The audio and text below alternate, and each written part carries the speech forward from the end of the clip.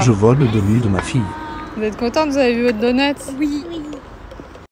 Coucou tout le monde, aujourd'hui on va faire une petite vidéo dégustation de chez Magic Donuts. Mm, C'est des donuts, ils sont trop sont trop bons sur le Havre. Mm, Il faut voir. aussi euh, des petites boissons, on a aussi des bubble tea, donc moi j'ai Mm. pris un bubble tea fraise. donc voilà. Avec du thé vert et toi du thé noir. C'est bon Oui. On fait voir du coup on a pris quoi Et Enfin j'ai pris que pour vous parce que moi je fais un régime. Oui.